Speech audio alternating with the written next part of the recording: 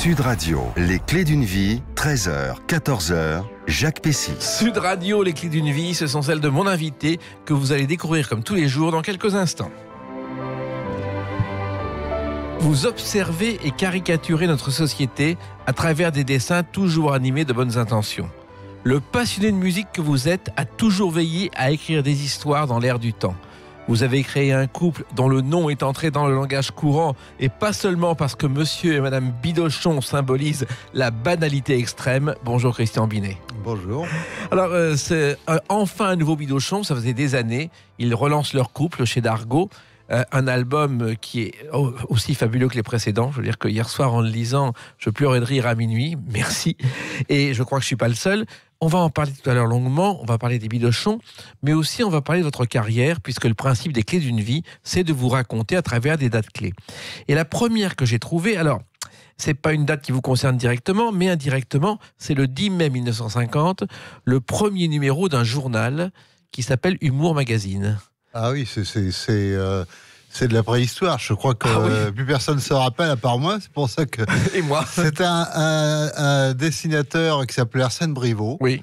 Et qui, faisait vraiment des dessins très très à l'ancienne, mais par contre qui, avait fait un petit journal qui s'appelait Humour Magazine et où il euh, publiait des dessins de d'amateurs. De, voilà.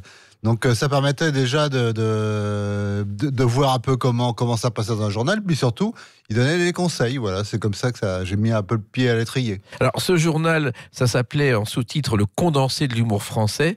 Il était vendu 60 francs avec de grandes signatures, euh, les, dessinateurs de la Marc Arverc. Et justement, il a tenu quelques années jusqu'à la fusion avec la Canebière, autre journal humoristique qui est devenu la Canebière Humour Français. Vous savez des choses, je ne savais pas tout ça. Alors, il y avait un concours annuel pour les non-professionnels et un prix chaque année pour un grand prix de l'humour de demain. Et c'est un peu comme ça que vous êtes rentré là-dedans, Christian Binet. Bah, de toute façon, les carrières, elles se font un petit peu comme ça, parce que moi, au départ, c'était même pas une idée, j'avais pas dans l'idée que c'était un métier, puis je savais même pas qu'on pouvait gagner sa vie avec ça.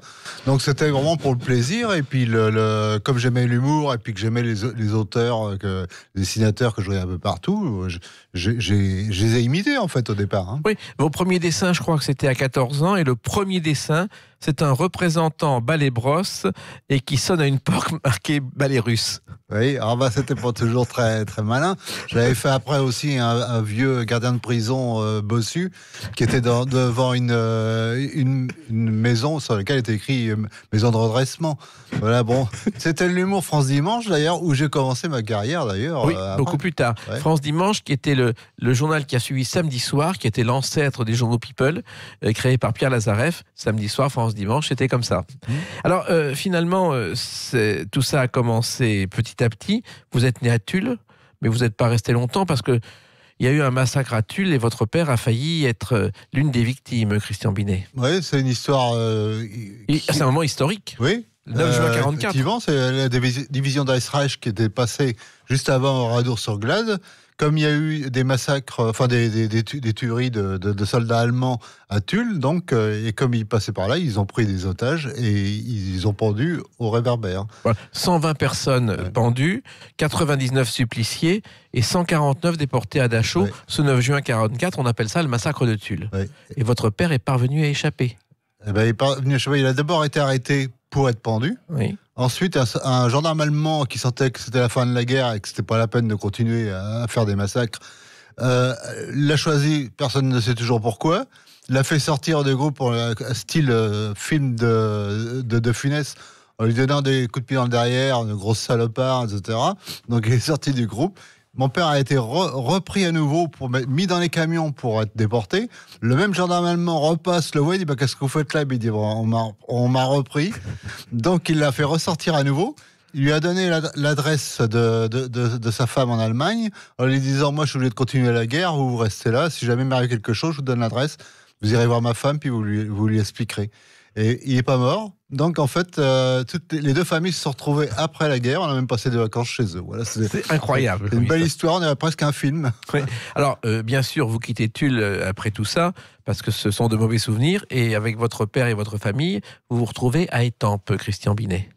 Étampes, un petit village. Un petit village. C'était le choix de mon père parce qu'il était ingénieur et donc quittant Tulle, il a, bah, il a fait les, pas les petits annonces, mais enfin il a cherché des boulots. Alors il avait soit les Pyrénées, soit Étampes. Voilà. Et puis finalement, euh, Étampes l'intéressait plus, donc on- c'est comme ça que, je, à 4 ans, j'ai atterri dans la région. Moi, je crois qu'il travaillait dans une usine de presse à découper. Non, c'est il- lui qui a. Oui, après. Ouais. Mais, à, à Tulle, il travaillait à la- à l'armurerie la- C'est ça. Et, et et aussi à la conserverie Valade. Exactement. Et alors ensuite, il y a eu un autre problème, c'est que vous deviez être inscrit à l'école du village, mais la- le maire était communiste et je crois que sa femme dirigeait l'école. Oui, c'était la, la situation dans ce village qui, avait 600 habitants. C'est une situation à la Pépone et non Camillo. hein. Exactement. C'est-à-dire qu'en général, les, les- les communistes qui étaient purs et durs à l'é- à l'époque, ou très durs, en fait, avaient tous cet enfant de cœur euh, au départ. Donc tout le monde se, recro- se croisait, se recroisait, et ça donnait des situations complètement comme, euh, comme, comme dans Camillo. Hein. Je me souviens le vieux curé qui rencontrait le maire qui, était, qui avait viré, qui était de- de- d'enfant de, cœur, était devenu euh, communiste. Il avait dit une fois, mais pourquoi t'es pas resté avec vous, mon petit gars? Il nous en faut aussi à nous des menteurs. Et vous êtes retrouvé comme ça en pension chez les curés pendant 9 ans, Christian Binet. Bah, ça m'a mis à 6 ans, puisque je pouvais pas aller dans l'école communale, puisque de toute façon, comme on- j'ai entendu mon père dire, comme c'était la femme du maire qui tenait l'école, et, et mon père disait toujours, elle, met les tracts communistes dans les cartables des enfants. Donc en fait, il n'y a qu'une solution, c'était de m'envoyer en pension, une, une pension catholique, puisque là, au moins, euh, il était sûr quand j'aurais une bonne éducation. Ouais, bah, c'était pas joyeux quand même. Il se passait des choses euh, qu'on pourrait aujourd'hui traiter euh, autrement. Ah ben, comme, comme ça s'est passé pendant des années et des années, et en plus, comme mon père était très pratiquant et que pour lui, les, les curés, c'était des représentants de Dieu, il n'était pas question pour moi que j'aille lui dire ce qui pouvait se passer dans l'école, parce que c'était impensable. Il m'aurait- C'est c'est moi le fautif. euh, On, on connaît l'histoire. Je veux dire, Ouais, on jouait beaucoup au docteur, quoi. Ah, c'était plus que ça. hein. Ouais. Malheureusement, ça a été que ça. euh, Alors, euh, le, les- le dessin était déjà votre exutoire, Christian Binet? Bah, quand vous avez 6 ans, qu'on vous retrouvez tout seul euh, sans vos parents, parce que la semaine j'étais en pension, le week-end j'étais avec les scouts, et les deux mois de vacances j'étais en colo chez les avec les bonnes sœurs. Donc c'est- j'étais pas souvent chez moi. Ma mère était pas très affectueuse, mon père était très rigoureux, etc. La morale chrétienne euh, tout le temps, tout le temps, tout le temps, ce qui est très culpabilisant. Et ben, je me suis réfugié en fait dans le dessin, et puis souvent en, en m'inventant même des, des royaumes, des choses comme ça. J'étais devenu Vidocq premier, je me souviens. Je me promenais avec des, des, fausses médailles qui étaient les médailles de mon grand-père qui fabriquait les camemberts. Et je m'étais accroché ça sur, le, sur la poitrine, comme c'était la, la Légion d'honneur. Voilà, bon, je crois que j'ai commencé un petit peu à, à, à, à- nourrir mon imagination de cette façon-là, parce que c'était un exutoire. Et il y a un dessinateur qui vous a influencé. Écoutez sa voix. Je crois que j'ai toujours eu envie de raconter des histoires. Et je les racontais souvent, c'était pour ne pas les oublier que je les Hergé. Quand ça a été au départ très, très euh, votre première influence après, avant de trouver votre justement, propre style. Ça a été une influence, mais il y en a eu d'autres en fait. J'ai plus fait de dessin humoristique. Moi, c'est plus la, la Vergne, Bellus. J'ai fait beaucoup de, Oui, d'imitations de. Bellus. On va en parler. qui était déjà une, une famille euh, française, quoi. Oui. Il avait fait Clémentine Chéry, un personnage qui est ouais. devenu un, un film ensuite. Ouais, oui, oui, oui. Et puis comme j'ai pas euh, la bande dessinée au départ m'a- m'a- m'attirait pas tant que ça en fait. J'étais plus attiré par le dessin. Oui, le premier dessin payé, donc c'était Le Gardien de prison. C'était pour un journal qui s'appelait Top Réalité Jeunesse, qui était un petit hebdomadaire pour les jeunes, une sorte de Paris Match qui a tenu quelques années. Mais c'était pas facile de placer des, des dessins dans les journaux. Non, mais je j'avais pas euh, conscience en fait que ça pouvait être difficile parce que je savais pas si, si c'était un métier ou si on pouvait gagner de l'argent avec. Moi, c'est quand, quand Top euh, Magazine m'a payé. Alors, je sais pas, je dirais maintenant euh, 5 euros. Hein, Ouais. euh, j'étais fou de joie. J'avais photocopié le, le- le- le chèque. Et je l'avais encadré au-dessus de mon, de mon lit pour parce que c'était vraiment là. D'un seul coup, c'était une grande découverte. hein. Il y a eu d'autres découvertes, on en parle dans quelques instants à travers une autre date, le 1er mars 1974. A tout de suite sur Sud Radio avec Christian Binet. 1er mars 1974 sort un journal qui s'appelle Mormoile. Euh, ça, a été euh, un événement dans ma vie privée. Je sais pas si c'est un événement pour la, pour la bande dessinée et, et la presse, mais ça l'a été pour moi parce que j'ai quand même une famille catholique où il y a des grands principes moraux.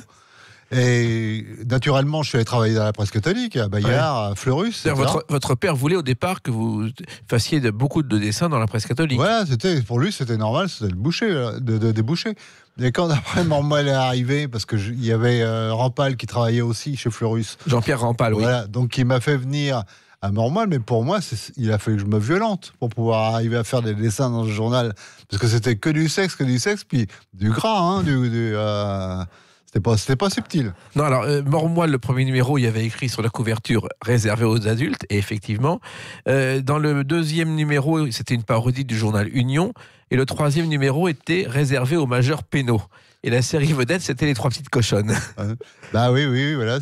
Mais euh, ça, ça m'a, ça m'a beaucoup aidé finalement quelque part parce que ça- c'est comme euh, ouvrir un- le, le bouchon d'une bouteille sous pression, quoi. Euh, voilà. Ça, alors tout, tout en étant euh, culpa- euh, culpabilisant à mort, hein, évidemment. Mais, et euh, une anecdote qui est, en fait, mon père est mort. Et, là, ça m'a complètement libéré. Bon, euh, je, pense que s'il avait été vivant, j'aurais, j'aurais pas pu aller travailler à Bormoil. Et toute ma carrière après en, aurait, dé- dé- dé- en aurait dépendu, quoi. Parce qu'en fait, ce journal, c'était à l'époque euh, l'un des premiers journaux un peu osés pour adultes. La BD devenait pour adultes. Vous illustriez des histoires de mulatiers, de Luc, de Rampal, on l'a dit. Et puis, il y avait vos, dossiers. Euh, mais ça va pas durer parce que je crois que le journal, les, recettes étaient inférieures aux dépenses. Euh, a- ça n'a pas duré très longtemps, mais ça, m'a permis quand même d'être euh, vu par Gottlieb, Oui, qui en fait, six mois après, m'a appelé pour venir travailler à Flux Glacial, ce qui est quand même pas c'est c'est quand même. oui. négligeable non plus. Mais, mais en même temps, la bande dessinée, votre père vous en parlait souvent en disant c'est pas un métier où on gagne sa vie. Tu devrais faire autre chose. Oui, alors il m'a, c'est normal. Les parents sont tous un peu comme ça. et ils ont envie que leurs enfants réussissent, soient heureux dans la vie. Pour lui, il s'est dit, le dessin, il va pas gagner sa vie avec ça. Donc il m'a dit, on va t'apprendre quand même un métier qui est très proche du dessin, c'est le dessin d'architecture. Parce que sauf ça, a strictement rien à voir. Donc je me suis fait chier parce qu'en fait, il, fallait calculer la résistance des matériaux. Tout ça, c'était, très compliqué. Mais en même temps, lui, il y avait des velléités d'auteur puisqu'il avait eu le prix de la nouvelle euh, remis par Roland d'Orgelès. Et il avait écrit un, bouquin à compte d'auteur dont la cave était pleine. Mais quand, quand moi j'ai décidé de faire du, du dessin humoristique, en fait, il m'a offert le, gîte et le couvert, alors qu'en fait, il m'avait appris un métier que, j'ai raté. Hein, j'ai même pas eu le diplôme. Mais quand j'ai commencé là-dedans, il m'a aidé. Donc euh, ça, c'était important quand même. Oui, vous n'avez pas eu le diplôme. Je crois que vos bâtiments ressemblaient à la tour de Pise. Il y avait que le dessin sur la façade qui était correct. C'était surtout, on met des petits bonhommes pour donner l'échelle Oui. du, du bâtiment. En général, c'est très stylisé. Moi, c'est toujours une mémé qui allait euh, au marché avec un panier et des, et des oies ou des canards, etc. Et donc, même les profs qui, qui regardaient les, les projets m'avaient dit euh, devriez laisser tomber l'architecture et plutôt faire les petits bonhommes que ça a, parce qu'ils sont vraiment très réussis.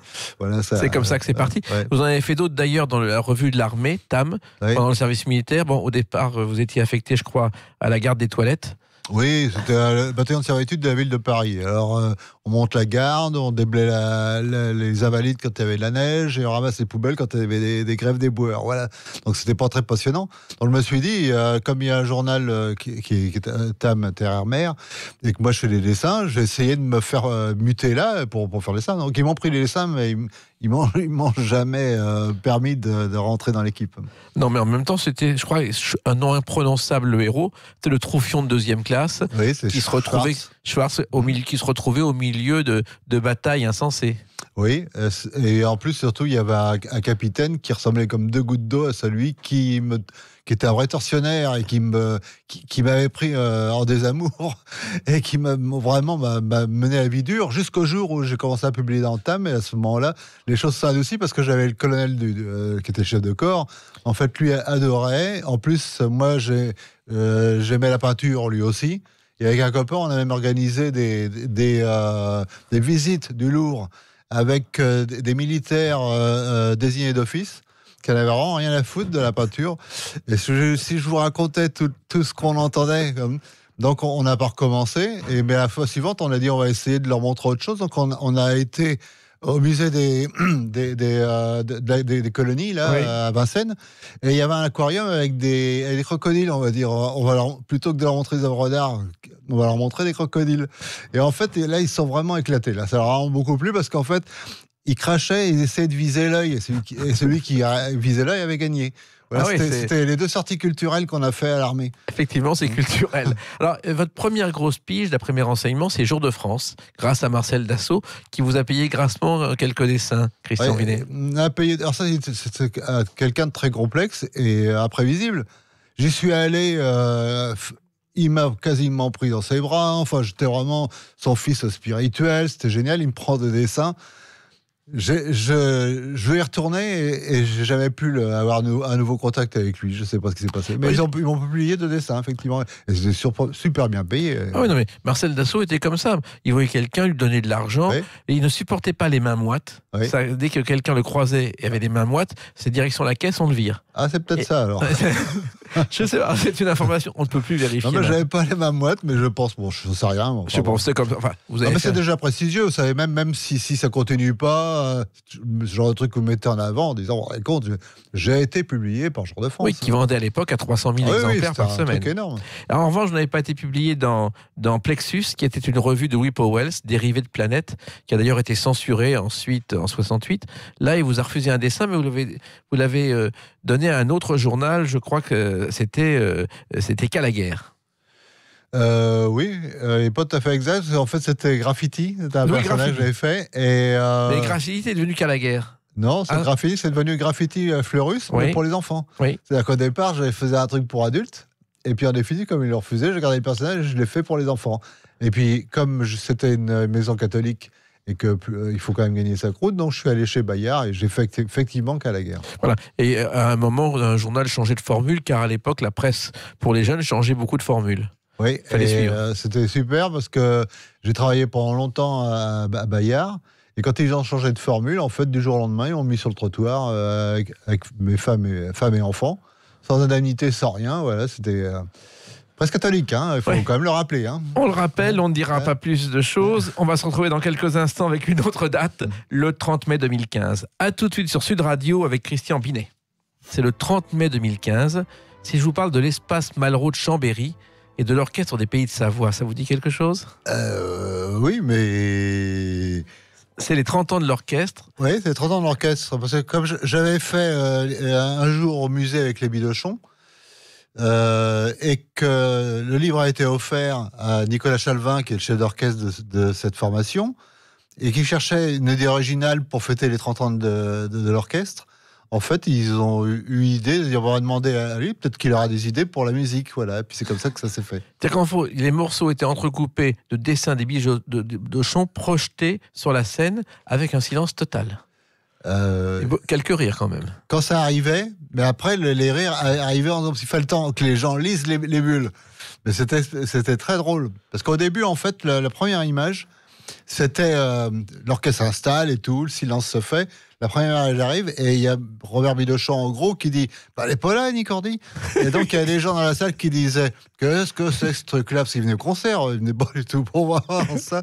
Et après en fait, ça, ça a vraiment très très bien marché. Oui, car l'histoire, c'était qu'effectivement, il s'était trompé de concert. Voilà. Il était allé voir Annie Cordy. Exactement. Il s'est trompé, il se retrouve dans, dans, dans- dans- dans un concert de musique classique. Monsieur Bidochon dit Ah, parce qu'en plus, c'est la musique classique. Euh, voilà. Et- Effectivement, c'était original. Comment vous est venue cette idée? Parce que ça ça s'était jamais fait? Bah non, mais moi, en fait, j'ai fait ce que je savais faire. C'est parce que je n'allais pas me mettre à faire des claquettes ou des ou tagada soin de soin au milieu de l'orchestre. Donc, j'avais proposé au chef d'orchestre, j'ai dit on, on fait ça. Mais en même temps, moi, je, je- comme je suis amateur de musique, je respecte les musiciens. Il n'était pas question, en fait, qu'on puisse faire quoi que ce soit pendant le, le déroulement du morceau. Donc, j'ai dit on va faire des choses entre les morceaux, on va faire rire les gens. Du coup, en plus, ça décontracte. Voilà, tout le monde se détend un peu et après, on écoute, on écoute le morceau euh, entièrement. Alors, j'ai retrouvé le programme de cet anniversaire qui était le 30e de l'orchestre. Il y avait une symphonie de Mozart, une suite de Bach, du Bartok, du Britten et un certain prélude en si bémol mineur qu'on va écouter.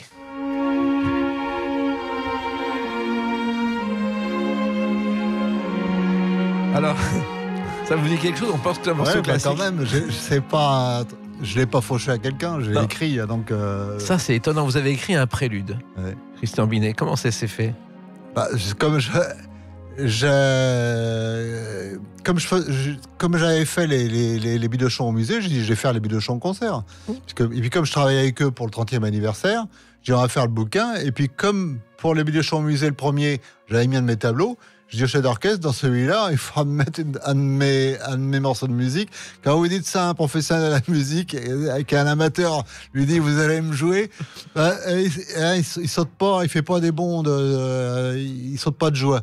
Bon, je l'ai envoyé avec beaucoup de précautions. Je, l'ai tranquillisé. J'ai dit si c'est pas bon, on le fait pas. Et en effet, ils l'ont fait. Puis j'étais super bien accueilli. Moi, c'est un rêve d'enfant. Quand je suis arrivé la première fois pour l'enregistrement de, mon prélude, euh, tout l'orchestre a, tapé sur, les pupitres avec les, les archers. Ils font passer à tout le monde, mais c'est un accueil formidable. Moi, qui, euh, euh, quand j'avais 10 ans et après une année de piano, où j'avais un prof qui s'ennuyait, et qui m'a, qui, qui m'a appris l'ennui de la musique plutôt Ah bon que le bonheur de la musique. Et donc à la fin, à la fin de l'année, tout le monde a décidé que j'étais pas bon en musique, donc c'était pas la peine de continuer. Sauf que en autodidacte, j'ai continué jusqu'au bout. Oui. Donc pour quelqu'un avec qui on avait dit qu'il était pas bon pour faire la musique, se retrouver finalement joué par une phalange de professionnels et enregistré. Bah, c'était et puis des musiciens aussi accueillants, euh, euh, flatteurs souvent. La, la, qui a joué, parce qu'à la fin ça se termine par un petit solo de, de violon, euh, violon et orchestre. Elle, elle chiadait le truc. À chaque fois, elle me disait Vous avez vu, j'ai refait ça parce que je trouve que c'est encore plus joli. Donc, c'est- très flatteur. Et vous l'aviez écrit longtemps auparavant, Christian Binet, ce prélude? Bah, J'ai toujours fait de la musique. Au début, je, la- je faisais euh, d'oreille. Oui. parce que j'étais pas bon pour la musique, on l'avait dit. Sauf qu'en fait, je, je jouais plein de trucs. J'accompagnais même les chants à l'église en jouant de l'orgue parce que j'avais une très bonne oreille. Et puis euh, après, je suis passé à l'accordéon parce que je pouvais pas avoir un orgue chez moi. Je déménageais, donc c'était difficile d'avoir ça dans son salon. Donc, euh, et puis quand on est autodidacte, on fait toujours un petit peu la même chose. Donc j'ai commencé à apprendre des, des, des- des leçons d'accordéon. Et puis euh, là, j'ai appris la musique aussi. J'ai commencé comme ça. Ouais, mais je crois que le, le prof d'accordéon n'était pas terrible. Je crois qu'il a fini électricien. Le premier, Oui. Le premier, bah, le premier, il faisait des balles musettes. hein. Oui. Donc, effectivement, euh, il voyait pas les, les fausses notes passer. C'est moi qui les voyais quand je, je prenais mon temps à la maison. Mais par contre, après, j'ai eu une prof de qui avait fait le conservatoire. Et là, qui m'a non seulement appris la- l'accordéon et la musique, mais en plus m'a appris ce que c'était de- d'exprimer quelque chose à travers la musique. Ce qui fait toute la différence. Tant que vous faites bouffer de la note, bouffer de la note, en définitive, c'est très vite ennuyeux. Si vous pouvez avoir un truc très simple avec juste euh, trois parties, mais si vous mettez tout ce que vous sortez à l'intérieur, ça fait toute la différence. Oui, alors en plus, vous considérez qu'on peut rire avec la musique classique. Vous l'avez démontré avec ce spectacle. Et moi, je me souviens d'un concert, je ne sais pas si vous avez entendu parler de Marc Hugo Finali. C'est un pianiste à Pleyel. L'entrée était gratuite, mais il fallait payer 200 francs pour sortir à l'époque. Et c'était un pianiste qui jouait avec ses pieds. Donc Ah ouais. c'était monstrueux. Il mettait les pieds sur la- ses chaussettes sur le clavier et il jouait. C'était Ah. monstrueux. Ouais. Et ben, eh ben, les, les gens tentaient de partir et, Ah et étaient obligés de rester jusqu'au bout. C'est le genre de blague qu'on ne fait pas assez souvent. Ah mais vous avez Fnung aussi euh, qui, qui, qui, co- euh, qui jouait euh, son orchestre. Oui. Tout, une fois par an, euh, les, les- Anglais raffolaient de ça. Parce qu'en plus, il y a des grands compositeurs anglais, Steel Walton par exemple, qui, qui ont écrit spécialement euh, des, des, des œuvres pour cette formation, et qui, qui sont des œuvres désopilantes, parce que vous avez un, concerto pour euh, euh, aspirateur et orchestre par exemple. C'était génial ce truc-là. Alors, vous avez joué de plusieurs instruments, euh, la flûte à bec, la bombarde bretonne, l'épinette vosgienne, et vous avez même eu un harmonium dont la soufflerie était plus forte que la musique, je crois. Euh, oui, c'est ce qu'on appelle un guide chant maintenant. C'est-à-dire que c'était euh, un ventilateur qui produisait en fait l'air. Sauf que le ventilateur, il faisait énormément de bruit. Mais ça fait rien, je veux dire. J'ai toute façon, la- la- tout ce qui était instrument m'intéressait, donc euh, voilà. Puis surtout, ça permettait d'avoir un, un petit truc, de commencer, de jouer dessus. euh. On occulte tout le reste. Quand on est passionné, on n'entend plus le reste. Non, et il y a aussi un musicien, je crois qu'à peu près, vous, devez être le seul à le connaître en France aujourd'hui, c'est Léon de Saint-Réquier. Oui, oui, oui. Oui, euh, on doit être trois, hein, si, Ah, on, si on a inclus son frère et sa belle-sœur. Mais j'ai- eu un membre de sa famille qui m'a écrit, vous étiez fou de joie à l'idée que, que j'avais parlé de, de- de leur grand-oncle.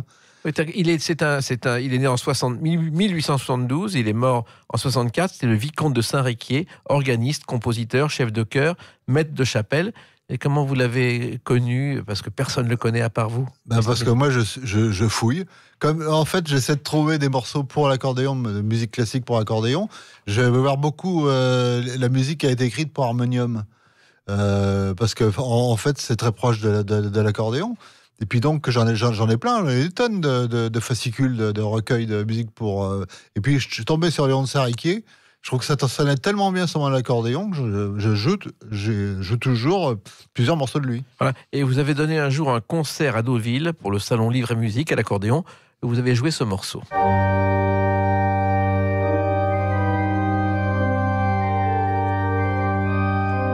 Le Fantasia en sol mineur de Pachelbel. Ça aussi, c'est un de vos morceaux favoris. C'est inattendu, Christian Vinet. Bah non, c'est pas inattendu, c'est une œuvre magnifique. Ce qui était moi, moi, plus inattendu, c'est qu'en fait, euh, le chef d'orchestre de euh, Gilles Trey, qui, qui était à Deauville, m'a demandé de jouer de l'accordéon. Oui. Donc j'avais joué ce morceau-là, mais comme j'avais jamais joué en public, c'était l'angoisse. Donc j'étais arrivé deux jours avant à Deauville, à l'hôtel, et pendant deux, euh, pendant deux jours, je répétais dans la chambre d'hôtel en boucle le morceau. Je crois que tout, l'hôtel a dû, partir au fur et à mesure. Ils s'en allaient les uns en disant il y, a un, y a un malade dans, une chambre quelque part qui, qui répète en boucle, qui joue en boucle à l'accordéon. En plus, à l'accordéon, les gens ah, souvent n'aiment pas ça. Voilà. Mais non, mais alors, euh, est connu pour son canon, mais on oublie que ben, euh, les Aphrodite Childs avec Ren Tir s'en sont inspirés du canon de Pachelbel, et même Michel Sardou, euh, dans une chanson, La maladie d'amour, il y a euh, une, évocation du canon de Pachelbel. Ouais, le problème, c'est qu'on résume toute sa carrière à ça, alors qu'en fait, il a écrit de la musique d'or qui est vraiment de première qualité. Il faut vous dire que Bach, par exemple, avait une grande admiration pour Pachelbel, qui était son aîné, donc il se connaissait d'ailleurs. Et donc, euh, c'est quand même plutôt flatteur de, que l'élève qui est devenu peut-être le premier musicien, euh, le plus grand compositeur de, de toute la musique classique, euh, avait une admiration pour, pour Pachelbel. Oui, effectivement, il a eu une vie discrète sans histoire, donc on n'en parle pas quand on a une vie discrète. Bah, à l'époque, euh, c'était pas des vedettes comme, comme maintenant. Hein. Quand vous voyez que Hein, par exemple, mangeait à la cuisine avec les domestiques, Hein, on se dit quand même. Euh... Ça se fait plus, non? Alors, c'est plus. Alors, il y a aussi l'opéra que vous affectionnez, Christian Binet, et je crois que vous l'avez découvert grâce à une pub télé. Oui, comme souvent, vous savez, c'est les petites portes qui s'entr'ouvrent auxquelles. Et d'un seul coup, vous entendez quelque chose. Il n'y a, a, que comme ça que ça marche. Si vous aimez un bouquin et que vous dites, ah, lis ce bouquin-là, tu vas voir, c'est formidable, ça marche pas parce que c'est pas le moment. Il faut vraiment être dans une disposition. Effectivement, il y avait la musique pour BASF, je crois, c'était une, une des, des, des, des cassettes. Et on voyait, euh, il y avait un travelling et ça allait jusqu'au pied de l'opéra. On voyait la statue de Puccini qui pleurait parce que c'est la musique de, de jouée, jouée, par Puccini. Donc, euh, c'est comme ça. Mais... Que vous avez découvert l'opéra et que vous y allez régulièrement. Oui, ça, ça a demandé un peu de temps. Tout ça, c'est des petites choses qui se rajoutent. Je me souviens, moi, quand j'étais à l'école, euh, une prof qui, qui, nous a, m'a fait écouter le, la mère de Debussy dans un, bro, dans un brouhaha monstre, parce que personne n'était. Et moi, ça m'est resté, je me rappelle même de son nom, c'est Madame de Gramont. Et puis après, il y a eu d'autres choses. Quand je suis allé accompagner ma mère à Playel, où elle chantait dans la chorale, si la chœur jouait, etc., et la neuvième de Beethoven, et au deuxième mouvement, il y a un coup de timbale avec une trompette, ça m'a traversé le bide. C'est inoubliable, ça m'a donné, j'ai eu des vibrations, j'ai failli pleurer. Et tout ça, vous savez, ça s'accumule, ça s'accumule, et à la fin, en fait, c'est comme ça que je suis arrivé à la musique classique, parce que on n'en écoutait pas chez moi, il n'y avait pas de disque. Hein. Non, mais en revanche, vous êtes pour la culture pour tous et pas réservé à une élite, Christian Binet. Alors moi, il n'y a rien de plus qui m'énerve parce que j'ai l'impression que les gens, une fois qu'ils ont acquis un certain niveau de connaissance, en fait, ils ont l'air d'empêcher les autres de pouvoir y accéder à leur tour. Or, moi, je trouve qu'on est quand même dans un monde, vous avez vu, c'est bordélique. C'est, oui, j'ai remarqué. Ah, ça, ça... Et je trouve que les, plus les gens sont instruits, moins ils sont manipulables. Donc, en fait, ce qu'il faudrait, c'est ouvrir grandes les portes pour que les gens accèdent de plus en plus à la culture.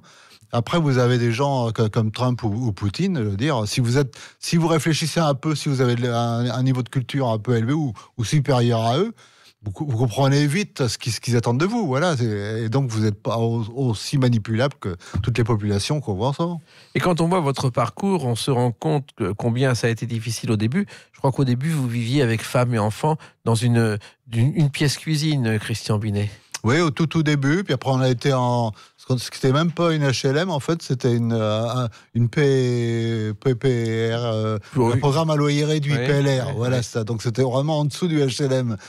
Donc bah oui, mais bon, j'ai pas souffert en fait parce qu'on n'avait pas de télé, on n'avait pas de téléphone, on n'avait pas de voiture. Euh, on avait les légumes que donnait la, grand-mère de ma femme, les vêtements que donnaient euh, nos copains. Voilà, mais on n'a pas souffert de ça. Mais vous disiez un jour, ça marchera jamais. Euh... Oui, il y a toujours des inquiétudes. Quand je voyais Gottlieb à la télé, en plus avec des camions de, de, de, de la télé qui venaient devant chez lui avec des fils partout, etc. je disais jamais j'arriverai à ce niveau-là. Mais Gottlieb, lui, il a commencé aussi dans ce style. Quand il a quitté Pilote, il a créé l'écho des savanes. Mmh. Il a créé ensuite. Ouais. Et un jour, il a appelé son copain d'école, Jacques Diamant. Il lui a dit Tu peux regarder les comptes Et Jacques Diamant, après avoir vu les comptes, a dit Écoute, qu'est-ce que tu veux que je t'apporte à la, à la, en prison Des oranges ou autre chose Ah ouais. Car c'était vraiment catastrophique. C'était un génie du dessin, mais c'était pas un financier. Comme Ah non, euh, sur- ce plan-là, on s'entendait bien parce que moi, c'est pareil. Hein. Dire, c'est les comptes, c'est pas mon truc. Hein. Effectivement, euh, c'est lui qui vous a appelé alors que vous, vous auriez dû l'appeler sur un conseil de Morchoine ou de Muliatier. Oui, j'avais son numéro de téléphone personnel, mais moi, je n'osais pas l'appeler. Pourquoi?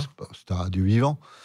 C'est difficile quand même, surtout moi, je me sentais rien, euh, nul. euh, voilà. et, puis, et puis, il s'est passé six mois, donc, euh, avec des grosses difficultés financières et pour nourrir tout le monde. Et en fait, un jour, ça, le téléphone sonne, pas chez moi, mais chez ma belle-mère où je travaillais, parce que je n'avais pas le téléphone. Puis quelqu'un, j'entends une voix qui, qui est très modeste, qui se présente. Bonjour, je suis Marcel Gottlieb, et qui commence à me dire tout ce qu'il a fait et tout. Alors que, en fait, pour moi, c'était, je connaissais que lui, quoi, quasiment. C'était un dieu vivant, on est Voilà. d'accord Et donc, il m'a demandé de venir travailler à Flux Glacial, ce qui j'étais fou de joie. Voilà, et ça a commencé. Et maintenant, on va se retrouver dans quelques instants avec une autre date importante, le 3 mai 2019. À tout de suite sur Sud Radio avec Christian Binet. Sud Radio, les clés d'une vie, celle de mon invité Christian Binet, avec enfin cet album des Bidochons. Les Bidochons relancent leur couple de- euh, chez Dargaud, 22e album, qu'on a attendu pendant des années, 8 ans, je crois, Christian Binet. Ah oui, mais il me faut un thème, en fait, parce que les Bidochons, en fait, les, les- tous les thèmes précédents, vous avez, je sais pas si vous avez vu, Ah oui, le téléphone, euh, Internet, euh, l'écologie, tout ça sont, sont des thèmes en fait qui, qui changent nos comportements dans la vie quotidienne. Donc il fallait que j'attende euh, au moins d'avoir un sujet. Bon, là, vous l'avez trouvé avec la relance du couple. Comment est venue cette idée, Christian Binet? Alors il y il a tout- comme toujours, il y a plusieurs choses. Déjà, il y avait le, le titre, je l'ai vu dans un journal féminin, c'était Relancer votre couple. Oui. Ils ont, ils ont des formules comme ça entre soi. Et puis euh, j'ai eu des sextoys dans les grandes surfaces déjà. Il y a eu le, le- le- le- le phénomène des nuances de grès aussi qui a super bien marché auprès de la- des femmes. Et puis à un moment donné, j'ai une, une, une amie de mon épouse qui, qui est venue en disant ah bah tiens j'ai j'ai participé à une réunion sextoy. C'était elle avant elle euh, elle avait fait les produits de beauté euh, avant les ustensiles de cuisine en plastique. Hein, c'était ça c'était je me suis dit il y a quand même une évolution parce qu'en fait ce sont les mêmes mais les choses ont changé et puis surtout euh, euh, on en parle librement quoi. hein. Donc, résultat, vous envoyez Madame Bidochon dans, une, dans des réunions de lingerie sextoy, ce qui est surréaliste. Mais non, parce que c'est- courant quand vous, je regardais sur Internet, c'est incroyable, parce que les gens se racontent beaucoup. Oui. Ça existe beaucoup, puis c'est très convivial. Euh, parce que c'est pas, pas une orgie, c'est- de la vente à domicile. Donc les gens, ils sont, sont pas là pour, euh, pour tout quoi. Ils, parlent, euh, comme ils parlent à chiffon, ils parlent produit, donc ils s'intéressent au produit, comment ça marche, en quoi c'est fait, éventuellement si ça. Donc tout, automatiquement, ça, ça, donne une distance par rapport au sujet qui fait que bah, c'est plus confortable et c'est plus agréable aussi pour. euh, que mon, idée, c'est pas de choquer qui que ce soit. Non, alors, ce qui est très important, c'est qu'on fait, on rit beaucoup, mais vous n'êtes jamais cynique, Christian Binet. Mais non, parce que sur Touchant, je les aime bien, euh, tous ces gens-là. Et moi, je vis au milieu d'eux, hein, mine de rien. Euh, J'habite à 45 km de Paris. Euh, le, le- le- le- les, les trois heures de transport pour aller à Paris dans des conditions épouvantables, je sais ce que c'est. Parce que je, ça, m'arrive de le prendre, ma famille le, le prend, mes enfants, tout ça. Non, mais euh, on- ça veut dire qu'on peut rire franchement avec des situations sans pour autant détruire euh, en permanence. Ah Christian non, Binet. vous, dé- vous détruisez euh, si, si, si vous ne vous connaissez pas les gens. Mais si vous les, vivez avec eux, vous les aimez. Vous avez envie. C'est comme ça, en, en, euh, la mise en boîte, quoi, voilà, avec quelqu'un, quelqu'un que vous aimez bien. Si, si il vous connaît, on se connaît, donc euh, vous même si elle a un peu dur et que vous ne le diriez pas à n'importe qui, ça, pourrait choquer, avec la personne que vous aimez, que vous connaissez bien, ça fait rire. Voilà, donc euh, moi, bah, c'est ça, ces gens-là, je les connais, je, je sais jusqu'où je peux aller. Oui, alors justement, on voit sur la couverture d'ailleurs Madame Bidochon dans un déguisement de lapin. Euh, elle découvre aussi des stimulateurs. C'est- et bien sûr, euh, Monsieur Bidochon ne comprend absolument rien. Raymond ne comprend rien. Ah non, parce que c'est- c'est si vous faites du comique, en fait, il faut des contrastes. Si les deux évoluent en même temps, euh, c'est c'est- c'est pas drôle. Mais a un qui traîne des pieds, euh, vous savez, moi, j'ai appris par, des gens qui écrivaient des textes. Et, si vous regardez dans le gentilhomme, Monsieur, Madame Jourdain de Molière, euh, c'est exactement les Bidochons. C'est-à-dire qu'elle a du bon sens et tout, et puis elle essaie de faire bouger les choses. Et puis lui, derrière, il, traîne déjà parce qu'il pense qu'il sait toujours tout alors qu'il ne sait rien. Et puis il n'a pas envie qu'en fait, en plus, qu'on le, dérange dans son confort. Il y a dans cet album une scène irrésistible, c'est quand euh, Madame Bidochon envoie Monsieur Bidochon au Nouvel Homme un centre où il va se faire nettoyer la peau. Entre Ouais. autres. Il y a- j'ai- alors, parallèlement justement à- au, au phénomène des sextoys, en fait, je me suis aperçu qu'autour de moi, il y avait des- des- beaucoup d'hommes qui allaient se faire épiler le maillot. Euh, je pensais que c'était réservé qu'aux femmes, mais ils avaient beaucoup en, en produits de beauté. Et ils faisaient même des implants euh, siliconés, puisqu'ils pouvaient se faire implanter des mollets. Bah, je dis quand même, mollets, il suffit de faire du sport pour avoir des mollets, pas obligé de faire, faire mettre des implants. Donc voilà, donc effectivement, les instituts de beauté, euh, euh, en, en fait, ont, décou- ont découvert un nouveau marché qui est celui de- de- des hommes. Voilà. Et il y a même une chanson qui est évoquée dans cet album. Paris,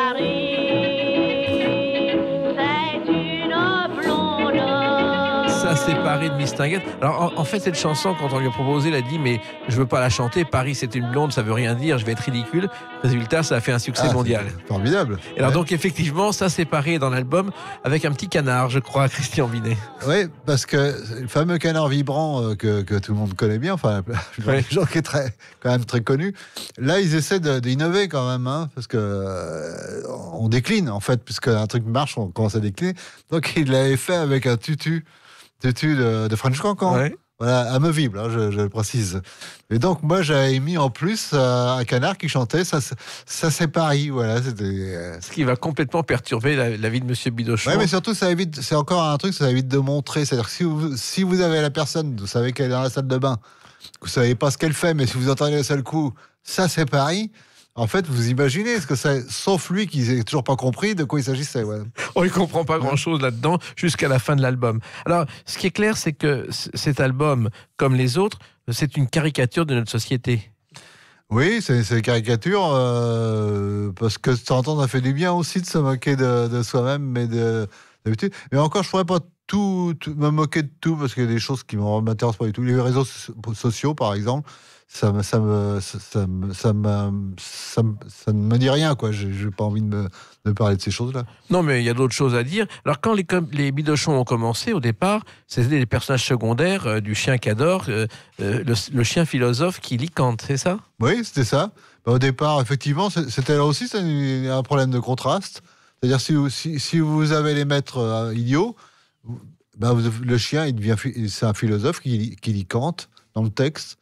Voilà, donc ça, ça crée forcément des quiproquos et des situations euh, comiques. Vous n'imaginiez pas à l'époque que les Bidochons allaient prendre le pas sur le chien et devenir des stars de la BD Bah, je l'ai su très vite parce qu'en fait, dès les premiers albums, euh, ça a marché mieux que, que, que Cador, en fait. Il n'y a, il y a pas mieux, hein, les, les- les gens se reconnaissent dans les situations. Et ça, il n'y a, pas mieux pour faire des succès. hein. Cador, c'était un chien philosophe. Kant, d'ailleurs, est un personnage qu'on a, qui, a, qui a fait beaucoup de choses, mais qui était l'homme le plus précis du monde. Il sortait de chez lui à telle heure, à tel point que les voisins réglaient leur montre sur l'heure de sortie de Kant de chez lui. Ouais. C'était quelqu'un de très précis. Et vous aussi, vous êtes précis parce que chaque, chaque gag, chaque planche, ce sont des, des, des- gros moments de travail pour trouver le bon mot, la bonne formule, Christian Binet. Ouais, mais ça, c'est l'humour pour moi, enfin n'importe quoi, mais euh, en, ce qui concerne l'humour, puisque c'est ce que je fais, en fait, c'est de la mécanique. Donc en fait, vous avez, ce qu'il faut, c'est que tout s'emboîte, que tout, tourne. Donc euh, il y, a, des mots qui sont pas à leur place ou qui expriment pas complètement ce que vous avez envie d'exprimer. Il y a des, des, des fois des, des vignettes de trop. Et on s'aperçoit qu'on te les retire, c'est encore beaucoup plus efficace parce que souvent à la bande dessinée, entre chaque case, en fait, euh, c'est une ellipse. Donc, euh, vous pouvez beaucoup jouer là-dessus aussi pour que ça soit efficace. Oui, et vous considérez, Christian Binet, que le mot est souvent plus important que le dessin? Bah, moi, j'ai appris avec des gens qui écrivaient les mots, avec, euh, avec Fedo, euh, euh, La Biche, euh, Lubitsch, Capra, René Clair, voilà, tous tous ces gens-là qui, qui, qui, écrivaient les mots, puis surtout qui, sa- qui connaissaient bien la mécanique du gag, les, les running gags, les choses comme ça, les effets, on, parle de quelque chose, ça fait rire, ensuite on fait en sorte que les gens l'oublient pendant un certain temps, ils vont le faire surgir à un moment où plus personne y pensait, sous une autre façon, et ça, ça, ça, ça, ça crée un comique. Alors, dit comme ça, on se dit, oh, bah, ça va être facile. Une fois qu'on sait la, technique, il suffit de mettre bout à bout. Non, ça marche pas parce qu'il faut quand même aussi une histoire. Oui, et une histoire où- qui est prépondérante tel point que de temps en temps, les décors, vous indiquez le décor sans le dessiner. Ouais, ça, c'est par euh, fainéantise. Vous croyez vraiment? Parce que je- justement, je suis pas à l'aise avec le dessin parce que moi, j'ai toujours euh, aimé le texte. Donc, euh, en fait, quand il faut dessiner des décors, c'est, euh, je suis pas à l'aise. Les voitures, c'est pareil. Il y a Hugo qui, qui dessine des voitures formidablement bien. Un jour, j'ai essayé de dessiner une voiture comme il les dessine. C'était catastrophique. Puis je lui, ai- je lui ai dit, mais vraiment, t'es t'es formidable. Moi, j'essaie de faire des voitures, ça ressemble à rien. Il m'a répondu, ouais, mais ça va bien avec le reste. Alors, je sais pas, je sais pas ce que ça voulait dire. En même temps, elle n'a pas tort. Du coup, maintenant, je cherche pas à, copier. Maintenant, je fais avec le reste. C'est-à-dire que je fais une voiture à ma façon, à toute vitesse. Et finalement, jamais personne n'est venu me dire Oh, dis donc, vos bagnoles, qu'est-ce qu'elles sont pas bien dessinées? Alors, Bidochon, euh, euh, j'ai vu plusieurs interprétations de la naissance des Bidochons. Ça viendrait de Bidoche, et, euh, vous auriez rajouté on. Quelle est la vraie version? Pourquoi les Bidochons, en fait? Bah, pourquoi, pourquoi pas C'est Oui. un, nom tout à fait français. C'est comme Ronchon, c'est voilà, c'est ça. C'est venu comme ça un jour Oui, oui, bien Sans sûr. ouais. imaginer que ça allait faire autant de succès. Bah non, au départ, euh, puis en plus, les, les, les noms de mes personnages, c'est pas là où je, je prends le plus de temps. hein, euh, ça vient comme ça. euh. Oui, mais c'est entré dans le langage populaire. Ah oui, complètement. on parle des Bidochons. Ouais, dans le dictionnaire, tout. C'est fa- quand même étonnant. Ça, vous auriez jamais imaginé Ah ça. oui, euh, j'aurais, pu inventer des poubelles, mais finalement, ça a pas mal marché non plus avec les bidochons. Oui, c'est même Ouais. aussi bien et c'est plus sympa. Et alors, euh, c'est vrai qu'il y a eu ensuite les Bidochons au théâtre, les Bidochons au cinéma, mais vous avez tenu à tout faire vous-même, Christian Binet. Bah non, malheureusement, c'est souvent pour ça que ça. Ah l'écrire, écrire les dialogues, je veux dire. Écrire les dialogues euh, euh, au dernier moment, parce que quand je, pour éviter les catastrophes, voilà, c'était un Oui. petit peu comme ça s'est passé. Donc ça, ça n'a jamais été un- une satisfaction ou, ou un plaisir. En fait, il aurait fallu que, que j'écrive, que je, je, je, je- je joue, que je finance et tout. Alors je dis, bon, autant revenir à la BD, parce que au moins là, je fais tout. Voilà. Et finalement, beaucoup de Français se reconnaissent dans les Bidochons, parce que le, Bidochon, c'est le français moyen. Oui, on peut dire ça comme ça. Mais moi, moyen, c'est pas dans le sens, euh, euh, c'est une caderie sociale un peu, un peu, euh, un, peu- un peu dénigrée ou Oui. secondaire. Non, non. C'est- celui justement qui, la- ce qui, ra- qui, ra- qui rassemble sur lui le, le plus de- de- de- d'éléments communs. Voilà, c'est ça. Et Donc part- vous trouvez ça chez des, des gens huppés aussi. Oui. Il y, a des- il y a des moments, ils sont dans des situations où vous pourriez dire c'est un bidochon. hein. Oui, on se reconnaît tous dans Ouais, les Bidochons. On a tous en nous quelque chose de Mhm. Bidochon. Il y a quelques bobos qui vous ont critiqué, mais c'est à peu près les seuls. Ouais, pas longtemps. Et puis c'est souvent les gens qui connaissent pas. Et puis en fait, ou, ou ils les connaissent pas, ou en fait ils s'en font une telle idée qu'ils ont peur de leur ressembler.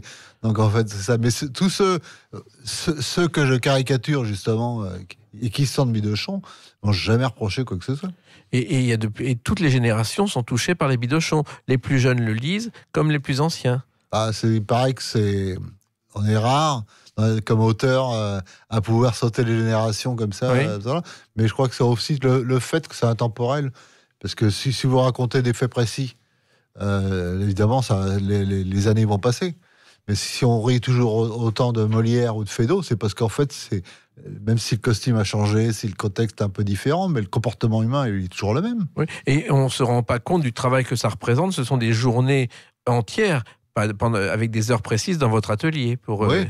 Mais euh, ça, ça me gêne pas. Hein. Euh, J'ai fait de la peinture, par exemple, aussi. Euh, euh, peinture à l'huile très chiadée. euh, je peux passer une semaine ou 15 jours sur le même tableau. C'est pas, pas, pas un problème, ça.